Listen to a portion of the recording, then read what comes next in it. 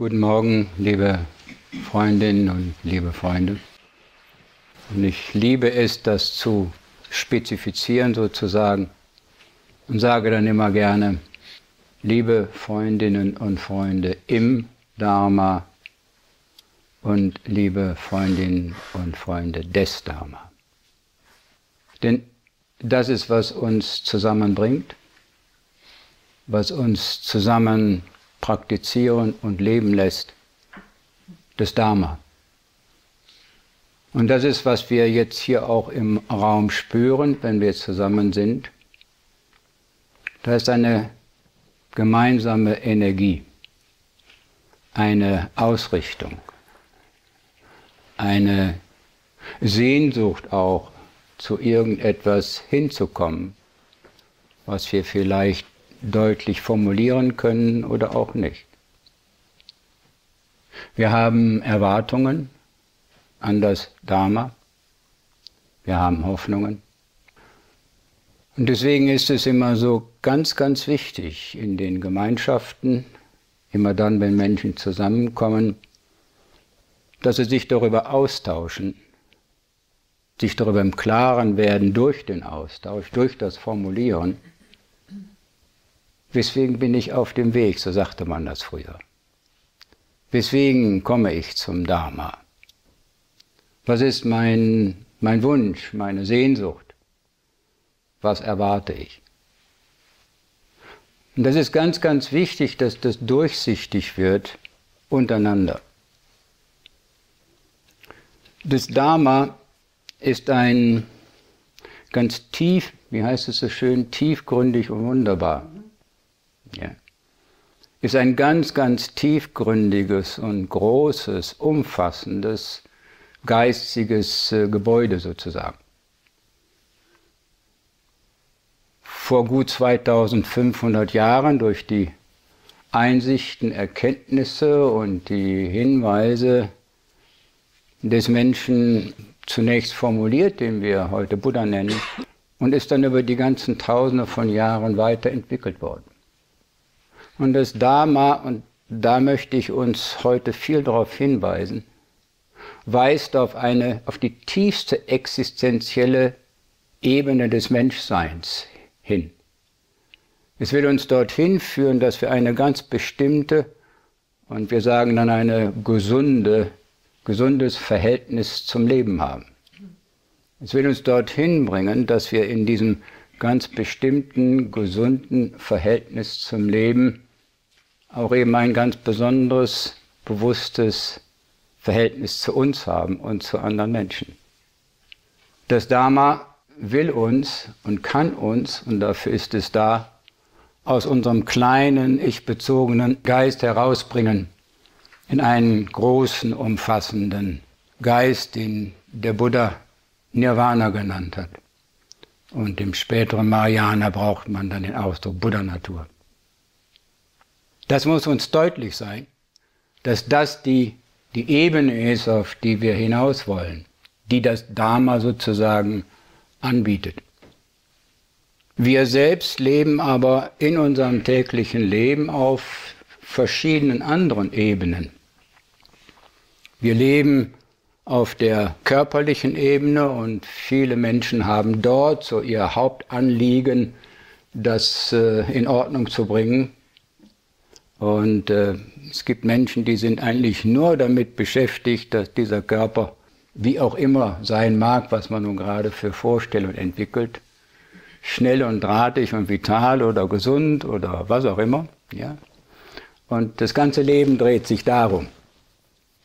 Und dann gibt es die soziale Ebene, die für uns alle starke Einbindung und Verbindung mit anderen Menschen und äh, da gehören so Lob und Tadel und anerkannt und nicht anerkannt und abgelehnt sein dazu.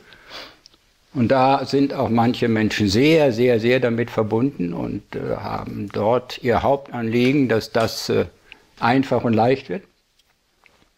Dann gibt es die psychologische Ebene, ja, die eigene Stabilität, das äh, zu sich stehen oder aber auch das sich erniedrigen und ähnliches mehr. Und dann kommt die spirituelle Ebene.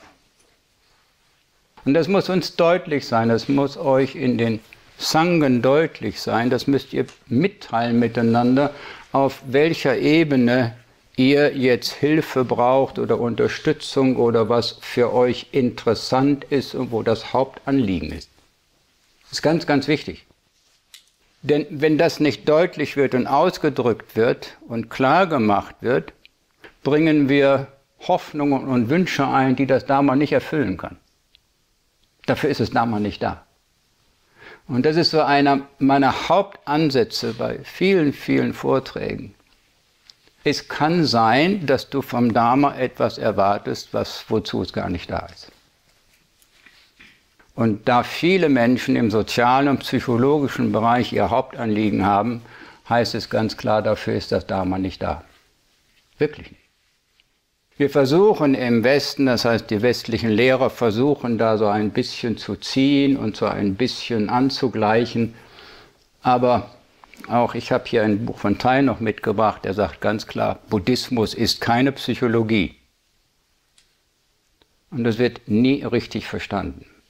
Man hofft dann doch, dass man da mit seinen Problemen in der Ehe oder in der Familie oder ähnlichen über das Dharma zurechtkommt. Das ist sehr fragwürdig. Deswegen ist es wichtig, das für sich deutlich zu machen. Und dann dorthin zu gehen, wo man wirklich Hilfe braucht und bekommt. Das ist das eine. Das andere ist, worauf ich uns immer wieder verstärkt hinweise. Das Dharma ist ein ganz großes geistiges Gebäude, das habe ich eben schon mal gesagt. Und es ist entwickelt worden vor 2500 Jahren in einem völlig anderen Kulturkreis, im asiatischen.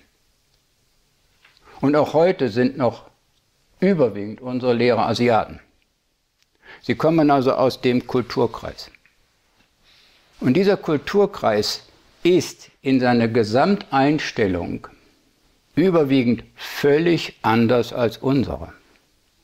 Wir leben in einem griechisch-christlichen Denken.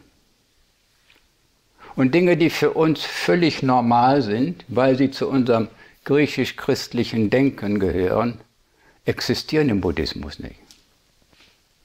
Die kennt ein Buddhist erst gar nicht.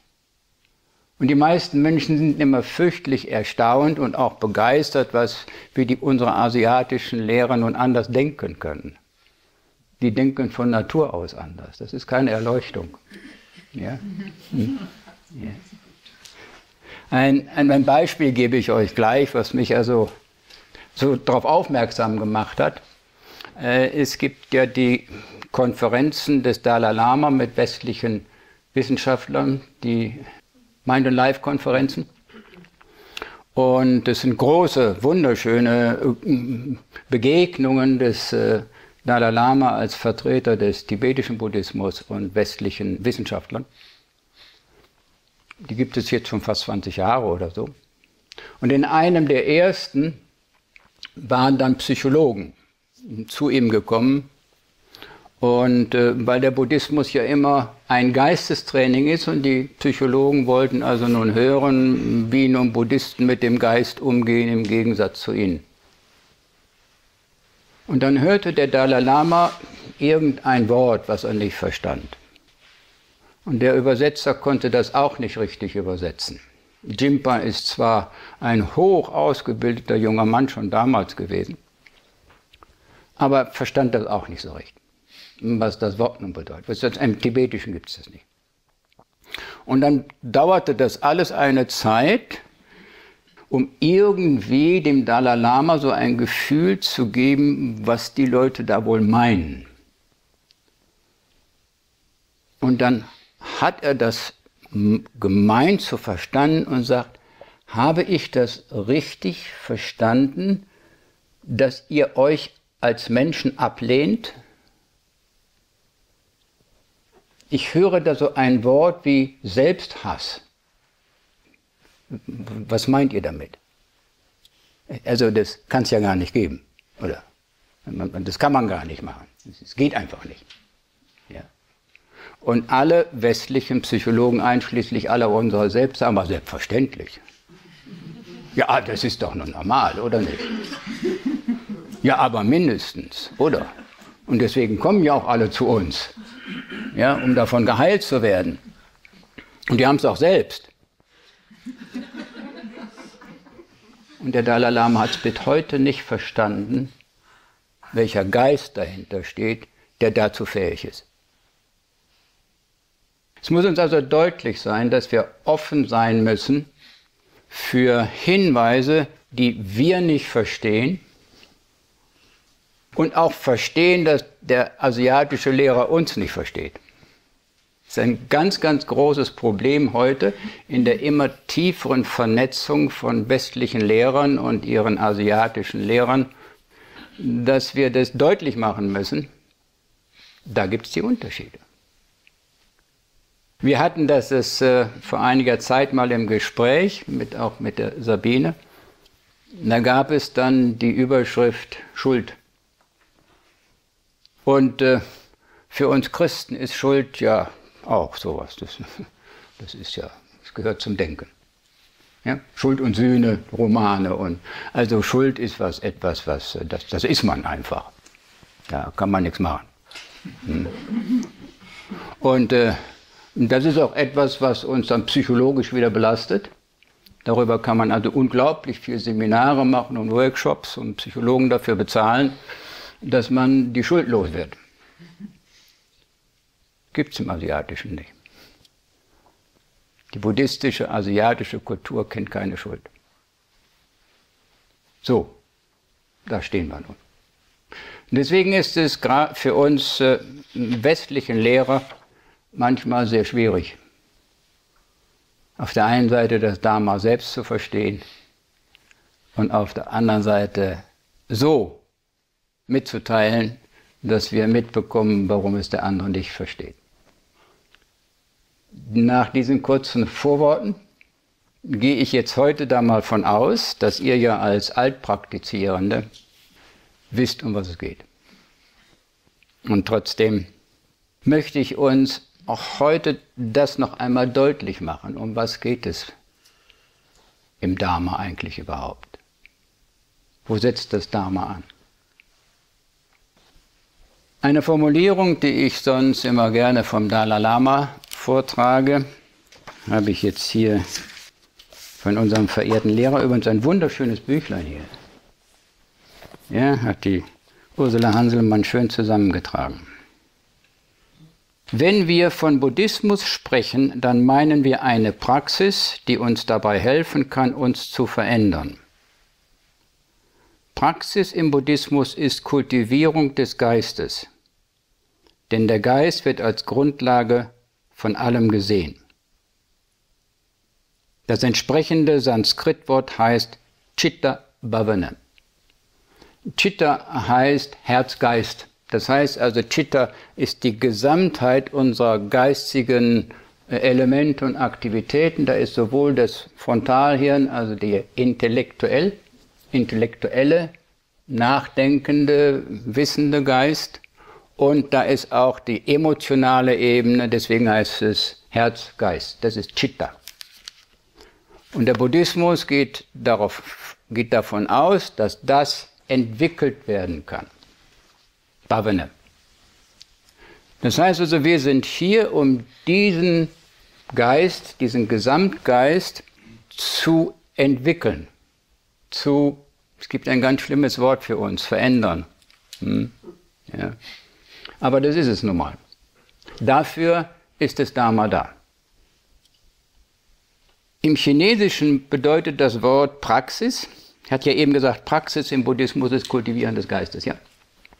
Praxis heißt etwas verbessern, reparieren, festigen, verwandeln, etwas verschönern, wahrer, realer machen brauche das jetzt nicht im Einzelnen hören, so, so vom, von der Energie her. Hm?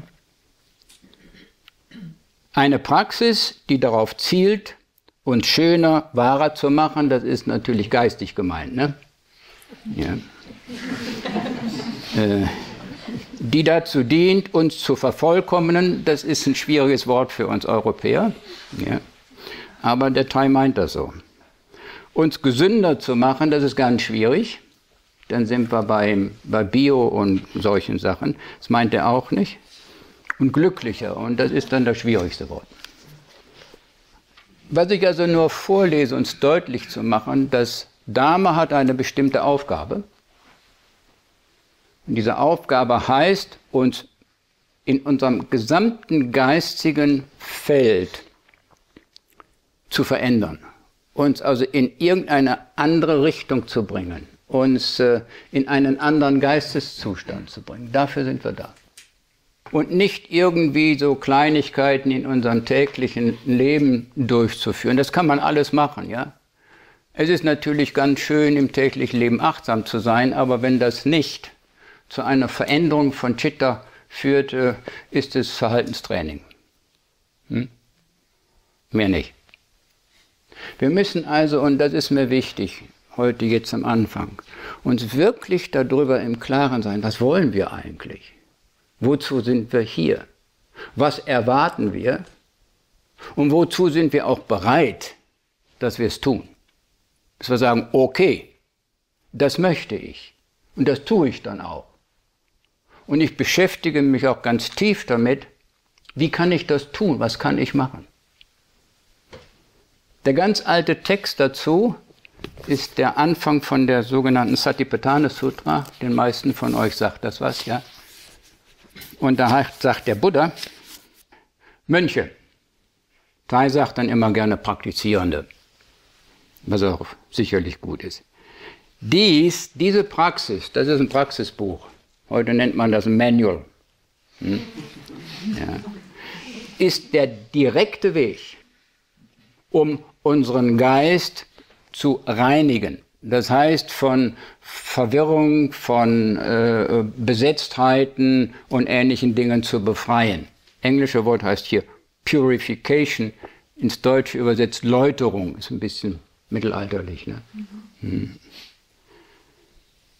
Das Überwinden von Sorge im negativen Sinne, Sorgen, Sorrow, und das ist ein ganz wichtiges Wort, Lamentation.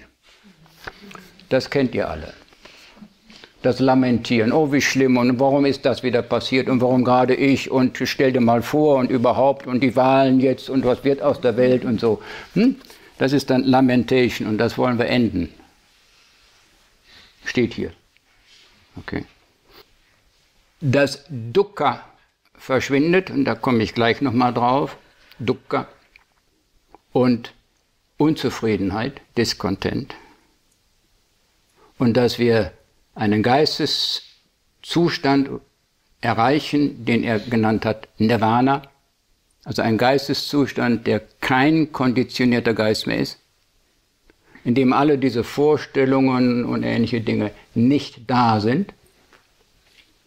Und dafür ist die Praxis da. Okay? Wir sollen uns das immer wieder vor Augen halten und immer wieder klar machen. Mache ich das heute?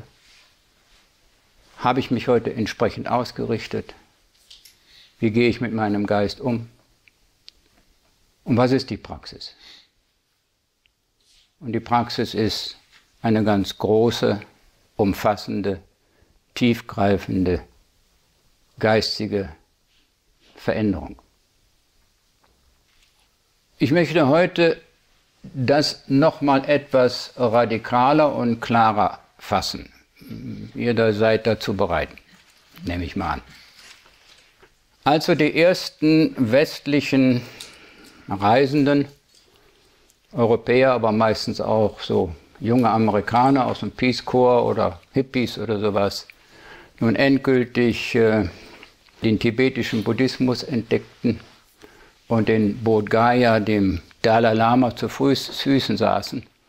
Und es auch irgendjemand gab, der so ein bisschen übersetzen konnte, was der Dalai Lama da nun sagt, war das Erstaunen ganz groß, was dieser Mensch da so sagt. Ne?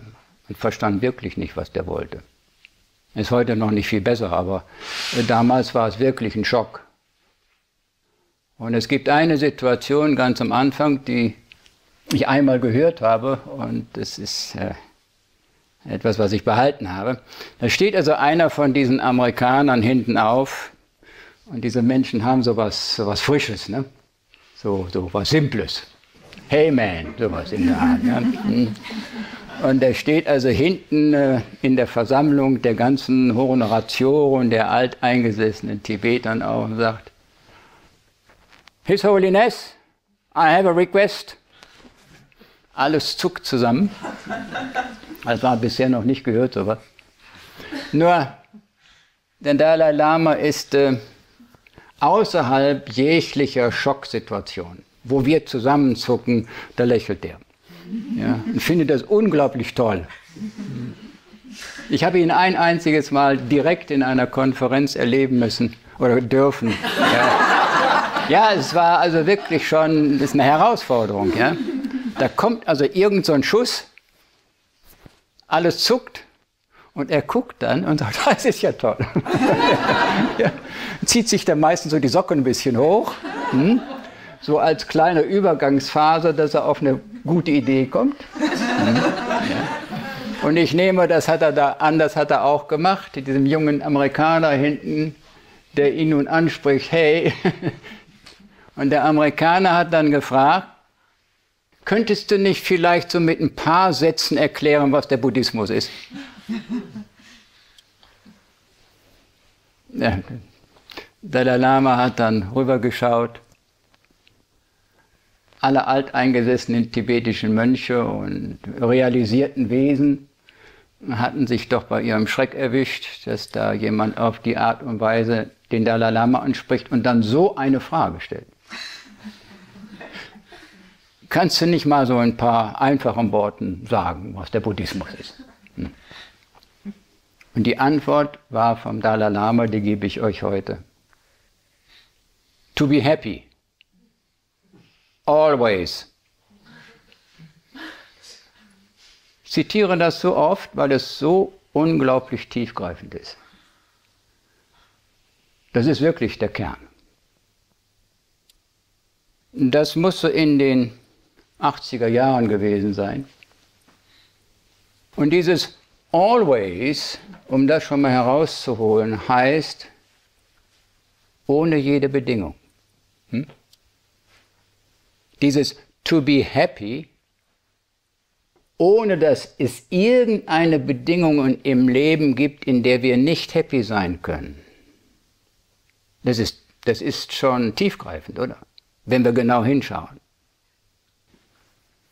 Und ich lese euch den Satz jetzt von einem anderen Meister vor, der immer oder sehr oft äh, mit dem Dalai Lama zusammen genannt wird.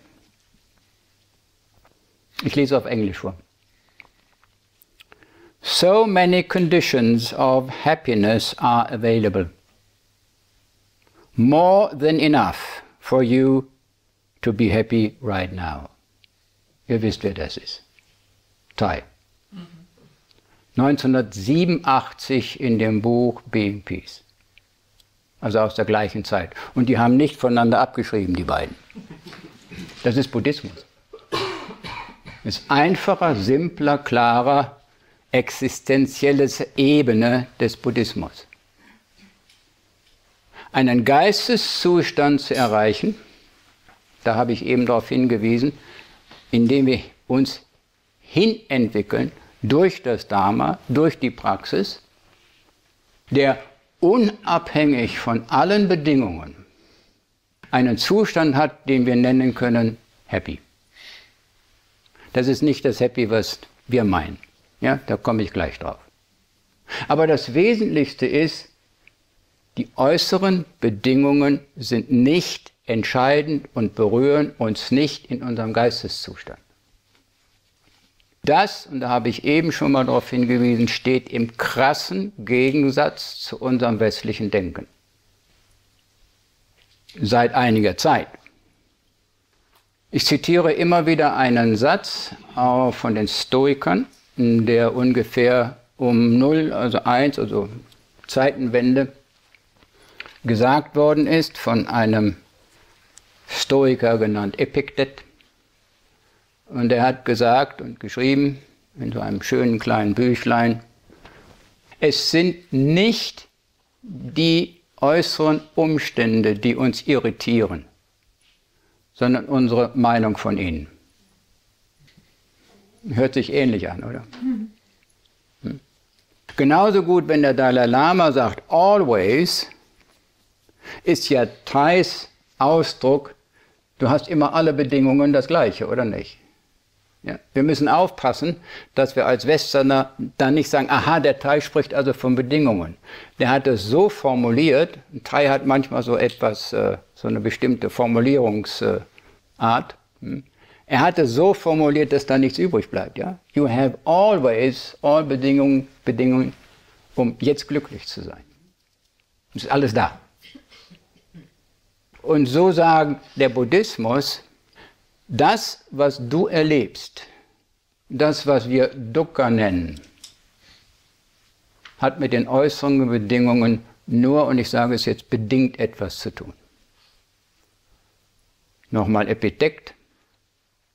Es ist unsere Meinung von den Dingen, die uns irritiert oder irritiert machen. Das ist das tiefe Verständnis von Dukkha. Und das ist mein zweiter Hinweis, den ihr auch wieder in Runden teilen müsst. Haben wir wirklich verstanden, dass eine äußere Bedingung uns nur anregt zu reagieren, aber wir nur aus unserer inneren Verfassung, aus unserer Einstellung heraus dann so antworten, dass dadurch Dukkha in uns entsteht. Oder nochmal deutlicher ausgedrückt, unser Dukkha hat nichts mit den Umständen zu tun. Und jeder hier Raum, im Raum heult auf und sagt, das stimmt nicht. Wenn du erstmal so leben würdest wie ich, ging es dir auch nicht gut. Ja? Und wenn du den Partner hättest, ja? und so. Und das ist wenn wir das als Buddhisten in Anführungszeichen nicht beherrschen, brauchen wir die ganze Praxis nicht machen. Das ist die Grundlage. Die Grundlage heißt, es ist ein Geistestraining. Der Buddha hat irgendwann mal gesagt, dass, er, dass der ganze Weg darauf hinausläuft, Dukkha verschwinden zu lassen, in Anführungszeichen. Damit hat er aber nicht die Umstände gemeint, ja? Kann er nicht gemeint haben. Geht gar nicht. Er wäre also im schlimmsten Falle Sozialpsychotherapeut gewesen. Denkt also nie, dass das, was wir erleben, das, was uns schwerfällt, wo die Probleme sind, wo wir uns ärgern und ich weiß was nicht alles, irgendetwas mit den äußeren Bedingungen zu tun hat in seiner Gesamtheit. Das muss ich jetzt deutlich machen, ja? Ich weiß, es ist ganz schwierig, auch für mich. ja. Auch nach, ich weiß nicht, beinahe 40 Jahren erwische ich mich immer wieder dabei, dass ich rausgreife. Sage, mein Gott, wie kann man bloß? So, ja. Und dann nach innen zu greifen, sagen, Moment, was hast du denn da jetzt erwartet? Was bringst du denn da jetzt für, äh, was bringst du da rein? Was für eine Bewertung setzt du jetzt an den anderen? Hinter all dem steht bei uns so ein Gedankengebäude. Das sollte es nicht geben, das darf nicht sein, das ist ja unverschämt und wie kann man bloß ein ähnliches mehr, ja? Hm? Und jeder von uns hört das. Dukkha ist das Ergebnis, das emotionale Ergebnis eines Prozesses, in dem ich mit einer Situation zusammenkomme und ich diese Situation entsprechend meinem gesamten Konstrukt einordne und bewerte. Okay? Hört sich noch kompliziert an? Dukkha ist damit ein ganz großes Feld von leichter Irritation, die beginnt immer, dass er irgendeine Augenbraue hochzieht. Ja? Oder man guckt dann so. Ja? Das ist schon Ducker. Dukkha ist also dieses innere Verkrampfen.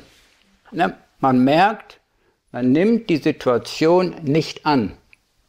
Man ist nicht mit der Situation, sondern man ist mit seiner Bewertung der Situation. Ist das verständlich, was ich mache? Ja?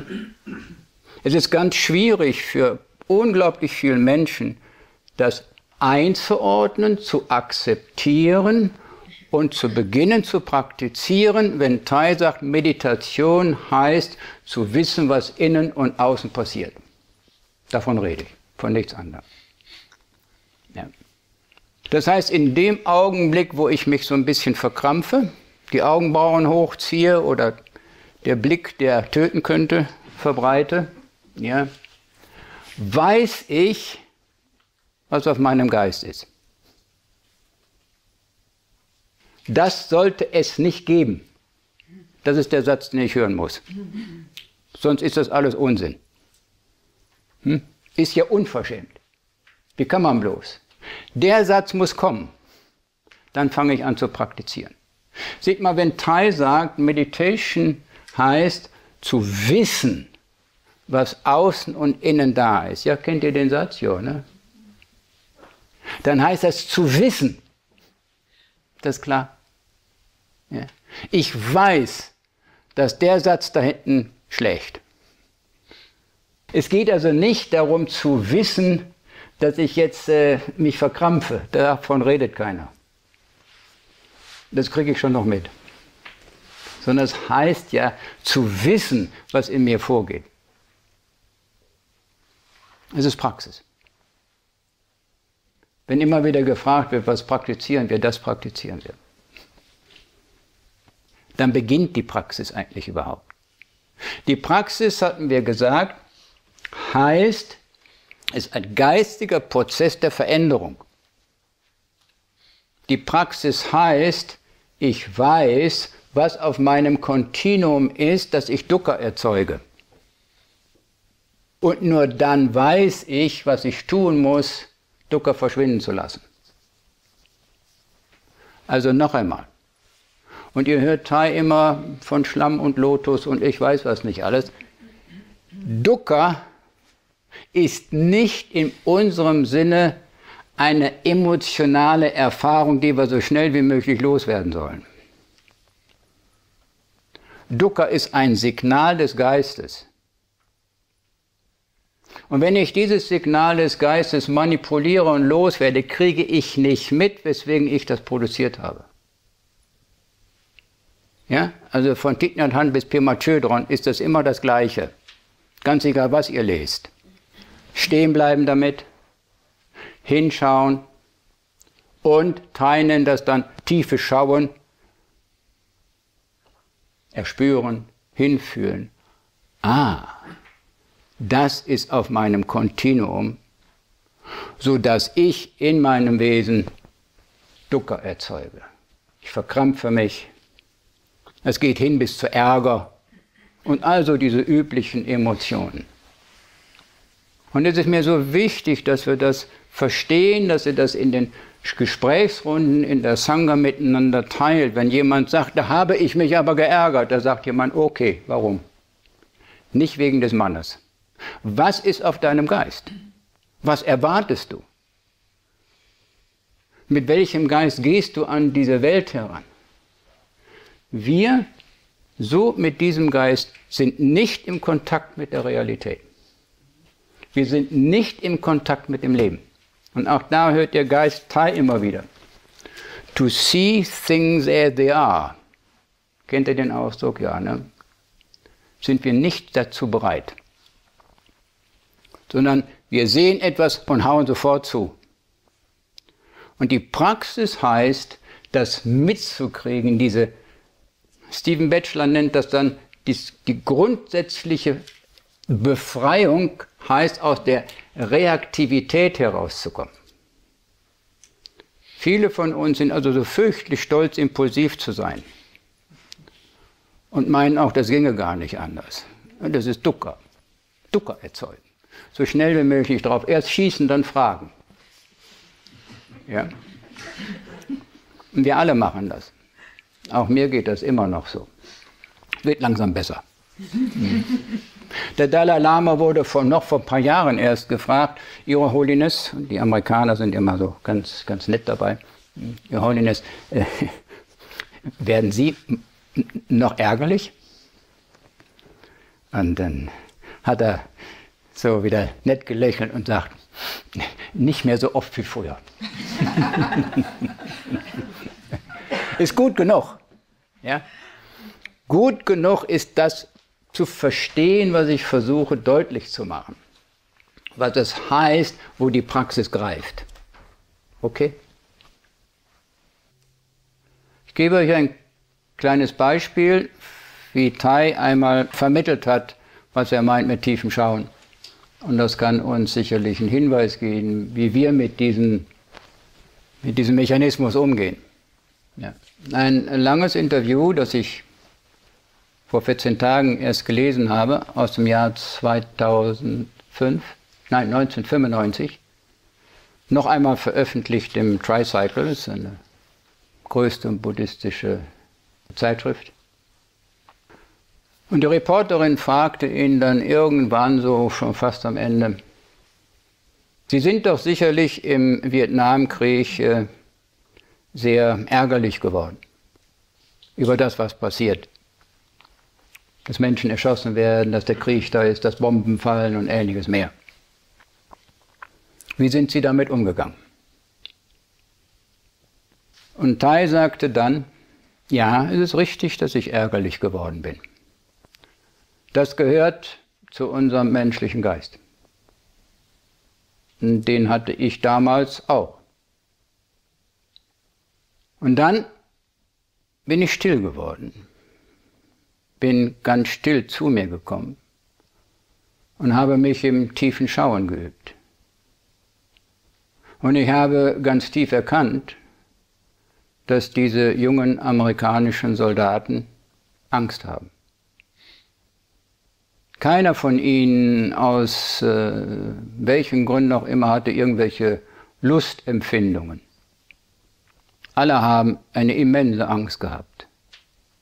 Allen ist befohlen worden. Und so habe ich nach einigem Kontemplieren und tiefem Schauen Verständnis für sie aufgebracht. Ich konnte gar nicht anders. Und damit war meine, mein Ärger weg. Denn der Ärger heißt ja Vorwurf, nicht? So die Sätze, die ich eben gerade gebraucht Wie kann man bloß, ist ja fürchterlich, darf es ja nicht geben und ähnliches mehr. Das heißt, durch einen anderen Gedanken, und dieser Gedanke, diese Einsicht, diese Einstellung gehört zu einem anderen Geist, gehört zu dem großen Geist, dem nicht ich-bezogenen Geist, gehört nicht zum konditionierten Geist der kann zurücktreten und kann jetzt in eine Situation, in der es uns nicht möglich ist, Verstehen aufbringen. Und dieses Verstehen löst, wenn es wirklich tief ist und tief, tief in das Wesen reingegangen, nicht so gerade so oberflächlich, sondern wirklich tief in das Wesen reingegangen ist, löst es das Dukkha auf. Oder? zumindest mal nachvollziehbar, also rein, rein sprachlich. Das ist unsere Vorgehensweise, das ist Praxis. Tai spricht immer wieder von Verstehen und Mitgefühl. Und immer am Anfang von Verstehen. Geht also immer darum, dass ich höre, weswegen ich diese Situation so und so betrachte. Vorwurf, Ablehnung, äh, und ähnliches mehr. Das ist auf meinem Geist. Ja? Und dann kann ich mich fragen, ist das richtig? Ist das wirklich so? Ist es wirklich richtig, dass ich annehme, dass diese jungen Amerikaner im Prinzip in ihrem Wesen Mörder sind und nur darauf gewartet haben, dass sie die das Gewehr in die Hand kriegen? Sicherlich nicht, oder? Das heißt also, der nächste Satz, der zu unserer Praxis gehört, bist du sicher? Ist es wirklich so, wenn du sagst, das sollte es nicht geben. Ist das möglich? Und ich kann euch aus meiner eigenen Erfahrung sagen, jedes Mal, wenn ich mich frage, dass ich sage, das sollte es nicht geben, und ich mich frage, ja, ist, ist das überhaupt möglich, dass es das nicht gibt? Dann muss ich sagen, nein, ist nicht möglich. Es ist einfach nicht möglich, dass jemand unachtsam ist und mir in den Wagen fährt. Wirklich, könnt ihr mir glauben. Ja? Hm? Es ist einfach nicht möglich, dass alles das, wovon wir behaupten, annehmen, wünschen, das sollte es nicht geben, nur durch unsere Wunschvorstellung verschwindet. Kommt das an? Ich gebe euch gleich ein hartes Beispiel dafür. Viele von uns hier im Raum sind langsam in, einem, in einer körperlichen Situation, von der wir sagen müssten, naja, hm, also lange nicht mehr. Hm, ja. Das ist die körperliche Ebene, von der ich vorhin gesprochen habe. Ja. Wir, wir, wie sagt man so schön, wir altern. Damit ist einfach nicht nur gesagt, dass wir so und so lange in dieser Existenz sind, hm, sondern dass auch dieser Körper irgendwelche hm, Veränderungen erfährt, nennen wir es vorsichtig. Ja? Hm. Also nicht so, dass es irgendjemanden jemals gegeben hat, der 90 war und immer noch wie 18 ausgesehen hat. Ist das verständlich, was ich da gerade mache, ja? Ist das klar, was ich schon versuche auszudrücken? Jemand, der sagt, das ist aber schlimm, dass hier die ganzen Falten sind, dem kann ich nur sagen, ist es denn möglich, dass die nicht da sind? Ja, da kann man natürlich ein bisschen operieren und Botox und was es da so alles gibt, ja. Aber prinzipiell nicht. Das heißt also, der Satz, das sollte es nicht geben, ist bezogen auf die Realität, wie soll man das nennen? Hm? Absurd? Hm? Psychologen würden das als neurotisch betrachten, ja? dass ich also etwas behaupte, dass es möglich wäre, dass es anders gäbe und noch nie auf der Welt es ist irgendeine Situation gegeben, in der ich belegen kann, es könnte anders sein. Ist das klar? Das heißt also, wenn wir uns bei einer Tatsache erkennen, ist unsere Praxis, diese Tatsache als Tatsache zu sehen und keinen Kommentar dazu abzugeben. Absolut keinen Kommentar. Das hat nichts damit zu tun, dass es dann heute gesagt wird, es musste akzeptieren. Das ist Quatsch. Da gibt es nichts zu akzeptieren. Akzeptieren heißt der Geist, der sagt, naja, es könnte ja schon anders sein, aber na, was willst du machen? Es kann aber nicht anders sein. Kriegt er den Haken mit? Das ist eine unglaublich schwierige Praxis. Ihr braucht nur in irgendeinem halbwegs normalen Kreis von Deutschen zu sitzen und da wird übers Wetter gesprochen. Wie das nun sein sollte und gestern war es aber und hätte doch keiner gedacht und all solche Sachen. Ja? Hm? ja?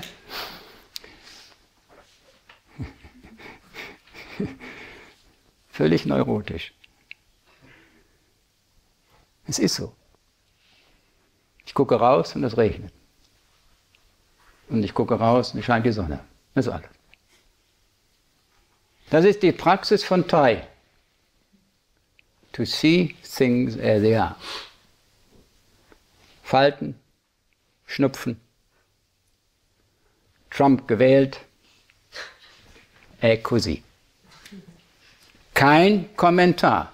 Denn dieser Kommentar ändert nichts und hat noch nie etwas geändert, ist also völlig neurotisches Energieverbrauchen, unseren Geist in einen Zustand zu versetzen, den wir als Ducker erleben. Ist das klar? Ja. Das ist Praxis. Und das ist Praxis, die ins tägliche Leben gehört. Praxis gehört nur ins tägliche Leben. Praxis gehört in das tägliche Leben, dass ich mich ständig dabei erwische, wie ich diese Welt bewerte, beurteile, aburteile und ähnliches mehr. Und das nicht mehr tue. Ist absurd. Warum tue ich das? Ist nicht menschlich. Es ist wirklich nicht menschlich. Es kommt aus unserem konditionierten Geist. Und wir müssen uns wirklich bemühen, das nicht mehr zu tun. Das machen uns die Neurophysiologen heute klar. Das Tun verstärkt die entsprechenden Neuro, neurosynaptischen Verbindungen und hält sie dadurch stark. Auch das stammt von Tai aus äh, Erkenntnissen von vor 2000 Jahren. Wenn ich das nicht bessere, vertrocknet es. Das ist ein etwas blumiger Ausdruck, ja, der von den Neurophysiologen heute belegt wird. Und wir machen nichts anderes. Wir machen, wir wässern es ständig.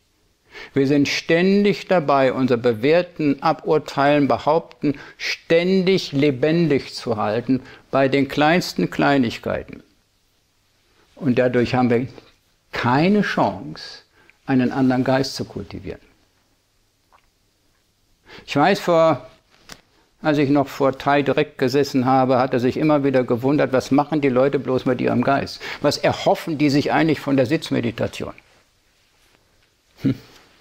Die 20 Minuten, da kommst du gerade so ganz vorsichtig dahin, dass du so nicht mehr denkst. Und dann stehst du auf und machst wieder die übliche Konditionierung. Hm? Kann nichts passieren. Wirklich glaubt es mir, es kann nichts passieren. Wenn wir im Buddhismus sagen, wir sind in einem Geistestraining, in einer geistigen Entwicklung, die zu einem anderen Geist hinführt, der die Dinge anders sieht, müssen wir das in jedem Augenblick unseres Geistes auch praktizieren. Wenn ich also mich wieder dabei erwische, dass ich mich verkrampfe, in welcher Form auch immer, angefangen von leichten Gesichtsbewegungen, irgendwelche Handbewegungen, ja, und irgendwelche äh, entsprechenden Kommentare da hinten ablaufen, weiß ich, dass ich den üblichen menschlichen Geist, der Leid erzeugt, kultiviere, wässere, stärke und beibehalte. Wir haben die Praxis. Und die Praxis heißt, ah, das mache ich jetzt. Und die Praxis heißt, ich mache es nicht weiter. Tai weist immer wieder darauf hin, dass dieser erste Punkt kommt und bleibt. Er ist sogar der Meinung, dass selbst der Buddha immer noch kurz gezuckt hat. Das macht Buddhisten, eingefleischten Buddhisten ein bisschen Sorgen. Dass er nur meint, der Buddha hätte also auch noch irgendwelche emotionalen Zuckungen. Tai will uns nur darauf aufmerksam machen, da kommt etwas. Ja? Nur dann mache ich nicht weiter. Ihr kennt immer noch die Geschichte von dem Keller und dem Wohnzimmer und ne, die Samen kommen hoch. Nichts tun. Und das ist eben neurophysiologisch verständlich mittlerweile für uns alle. Ja? Es kommt hoch, so heißt es ja heute so schön. Erstaunlicherweise überall. Ne? Selbst im Sendo, wo nichts passiert, kommt es hoch. Hm und ich tue nichts dran. Das heißt aber nicht, dass ich das wegdrücke, dass ich das nicht haben will, sondern in einem ganz tiefen Verständnis, das wir jetzt haben, weiß ich, der Gedanke gehört hier nicht hin. Der kommt irgendwie so, was auch immer. Ihr könnt das ja immer beobachten, wenn er hier auf dem Kissen sitzt und äh, nichts zu denken hatte ich im Sinn. Hm? Ja, ja. Und man weiß also nicht so richtig, wer da denkt, aber ich nicht, oder? Aber es denkt, oder? So. Und jetzt versuchen Leute, das irgendwo in den Griff zu kriegen. Das ist nicht die Praxis. Wirklich nicht. Das ist schon wieder manipulieren, das ist drehen, das ist eingreifen und ich werde das ja wohl jetzt in den Griff kriegen. Und die Praxis heißt, wie heißt das Norddeutsch so schön, nicht umkümmern. Hm? Nicht umkümmern. Sehen, feststellen, nichts dran tun. Dann ist das, wie das Dai früher genannt hat, kurz ins Wohnzimmer gekommen. Baker Roshi, ein Zen-Meister, der mittlerweile in Deutschland lebt, hat einmal gesagt, Don't invite your thoughts for a cup of tea. Das ist damit gemeint. Auch wieder ein bisschen blumiger. Ja? Und was wir meistens machen, und das hat den Buddha so beschäftigt, ja, dass wir zugreifen. Weil wenn wir nicht behaupten, das wäre ich. Stimmt ja gar nicht. Wenn ich das wirklich wäre, könnte ich es ja verhindern, oder? Hm? Können wir mich also hinsetzen und sagen, okay, also ich kann zwar denken, aber jetzt für die 20 Minuten tue ich es nicht. Hat das schon mal jemand gekonnt? Das ist ein Beweis dafür, dass es nicht in unseren Händen liegt, oder? Also sollten wir die Finger davon lassen. Ganz alte Hinweise bis hin zu den Tibetern, die sagen, nichts dran tun. Nicht manipulieren, nicht eingreifen, und ganz simpel und einfach in der Klarheit deines Geistes zu stehen. Die Klarheit des Geistes heißt, da ist. Und im theravadischen Buddhismus heißt es dann Gedanke, Gedanke, Gedanke, Gedanke und dann komme ich wieder zum Atem zurück. Ja, kennt ihr das? Hm? Das ist alles. Das machen wir immer. Auf der Straße, beim Einkaufen, wenn wir hier zum Essen anstehen, und ähnliches mehr. Immer. Dann praktizieren wir. Achtsam zu sein ist die Grundlage dafür, dass wir praktizieren. Achtsamkeit selbst ist keine Praxis. Die Grundlage. Dann kommt die Praxis. Denn wenn ich nicht achtsam bin, kriege ich nicht mit, dass ich da wieder am Denken bin, ja? Und ich kriege auch nicht mit, was ich da denke. Und ich kann mich auch nicht fragen, da steht beim Teil so schön, selbst wenn du sicher bist, überprüfe es noch einmal. Es kommt also nicht dorthin, dass ich mich höre, es wäre doch schön, nicht zu altern. Hm? Hat schon mal jemand gehört, ne? Hm? Oder da sollte es nicht geben oder sowas in der Art. Und den Satz als absurd hinzustellen, ist Praxis. Und es gibt unglaublich viel davon, von diesen Sätzen, wo ich also nur ganz klein bisschen antippen muss und muss sagen, ist ja, ist, ist ja blöd, oder? Hm? Hat es wirklich noch nie gegeben. Es gibt bisher jedenfalls keinen Beweis dafür, dass es irgendjemand seit diesen x Millionen Jahren gibt, der nicht gestorben ist. Und Leute sind ständig dabei, wie schlimm das ist und das sollte es nicht geben und es ist ja fürchterlich und da habe ich aber Angst vor und ich weiß was nicht alles. Alles nur on top of it. Nichts mehr. Das sind unsere alten buddhistischen Vorfahren. Don't put anything on top of it. Nimm das, was da ist, als das, was da ist. Und dann, das können wir das nächste Mal machen, setze ich natürlich meine Kreativität ein. Ne? Hm? Ja. Da würden wir im Christentum sagen, da hat uns der liebe Gott ja aber was mitgegeben, oder? Nicht? Da können wir ja was dran tun. In den Grenzen, die uns zur Verfügung stehen. Ich muss mir nicht die Leber kaputt saufen. Wirklich nicht. Muss ich nicht. Ja? Leberzirrhose ist keine Notwendigkeit des menschlichen Seins. Hm, ich kann auch was anderes machen. Wir haben also unglaublich viele Möglichkeiten innerhalb eines bestimmten Rahmens. Das habe ich vorhin gemeint, wenn ich gesagt habe, die Bedingungen tun schon etwas mit uns. Ja?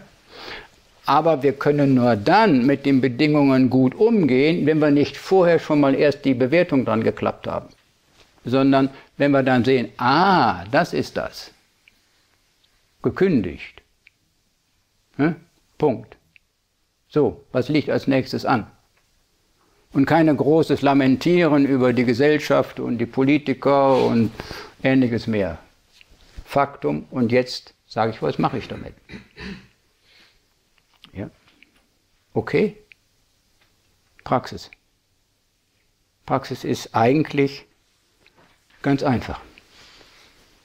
Vorausgesetzt, wir üben uns wirklich darin, nicht immer mit unseren Kommentaren, Bewertungen, Behauptungen und Ähnlichem auf die Realität zuzugehen.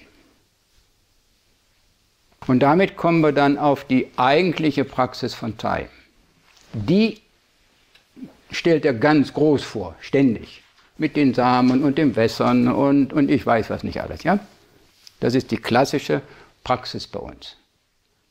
Und er hat dann irgendwann mal für sich selbst entdeckt, es gibt ja bereits jetzt die Möglichkeit, in einen Geisteszustand zu kommen, in dem der konditionierte Geist nicht da ist.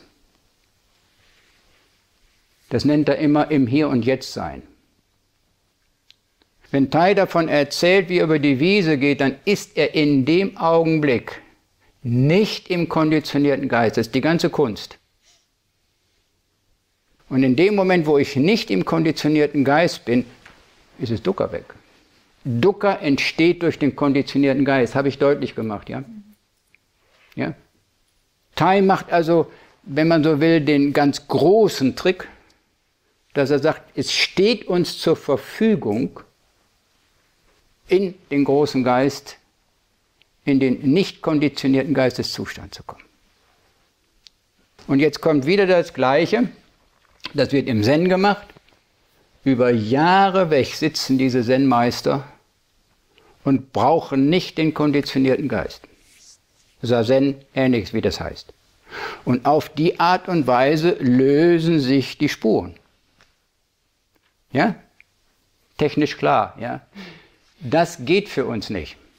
Unsere Zeit, nicht im konditionierten Geist zu sein, ist zu kurz. Wenn wir also Glück haben, abends in 20 Minuten, kommen wir am, kurz vorher kommen wir auf diesen, jetzt bin ich einfach da. Dann war es vorbei. Und so macht uns Tai darauf aufmerksam, bringt euch so oft wie möglich in diesen Geist, in dem es kein konditioniertes Bewusstsein praktiziert. Im Hier und Jetzt. Und wieder das Gleiche, wenn wir das wirklich auch im Tag machen, lösen sich die Spuren. Das ist die Kunst dabei. Und Tai hat immer wieder früher gesagt, wenn wir in einem entsprechenden Umfeld leben, wenn wir in einem entsprechenden Umfeld diesen konditionierten Geist nicht gebrauchen, wird sich das alles auflösen. Und da hat er recht mit. Nur machen wir das. Das ist meine Frage. Ihr kennt die Praxis und ihr müsst jetzt für euch selbst herausfinden, wie lange und wie oft und wie gut praktiziert ihr sie. Ab und zu mal fünf Minuten bringt nicht viel. Das ist so, Tai hat das früher auch benutzt, die Kartoffel kochen. Ja? Die brauchen eigentlich am Stück 20 Minuten oder so, ja? Hm, ja, ich bin kein Koch, aber 20 Minuten, ja. Jetzt kann man natürlich eines machen, so fünf Minuten, dann stellt man es wieder aus, macht einen Zick, fünf Minuten, hm, und dann stellt man es wieder an, fünf Minuten, und beim vierten Mal hat man die 20 Minuten zusammen. Das ist Thais Beispiel immer. Das ist unsere Praxis. Immer so fünf Minuten, es passiert aber gar nichts. Das sind doch schöne Beispiele, um uns deutlich zu machen, wir müssen auf der einen Seite grundsätzlich verstehen, wie unser Geist operiert. Wir müssen grundsätzlich verstehen und akzeptieren, dass wir durch den konditionierten Geist etwas kreieren. Wir müssen grundsätzlich die Wachheit und Bewusstheit und Klarheit üben, dass wir mitbekommen, was auf unserem Geist passiert und dann diese entsprechende Blockade auflösen durch tiefe Schauen. der ganze Komplex. Und der andere Komplex ist, immer wieder in einen Geist hineinzukommen, der nicht zum konditionierten Geist gehört. Und auch der, diese beiden Praktiken werden dann ganz langsam über die Jahre die Spuren da oben löschen. Es kommt darauf an, wie tief sie sind. Manche Spuren sind ziemlich tief. Also wenn jemand 70 Jahre wie ich da oben reingegraben hat, dann ist das schon keine Spur mehr, das ist schon Canyon. ja. Und äh, der wächst auch in den nächsten 20 Jahren nicht mehr zu. Da brauche ich mir keine Hoffnung machen. Hm. Der kann nicht nur versuchen, so was obendrauf zu tun, nicht damit da keiner reinfällt. Hm. Okay? Aber ich kann immer eines machen, immer wieder in diesen wachen, klaren, nicht konditionierten Geist herauszukommen. In dem Moment ist es nämlich egal, was auf dem konditionierten Geist ist. Ich brauche ihn einfach nicht. Ich komme aus einem anderen Geisteszustand. Das ist alles, was ich zur Praxis sagen kann. Und wie gesagt, üben, üben, üben, üben. Das ist alles. Und wenn mich jemand fragt, ja, wie gehe ich damit um? Üben. Und da habe ich das Problem. Üben. Und wie soll ich? Üben. Okay? Danke.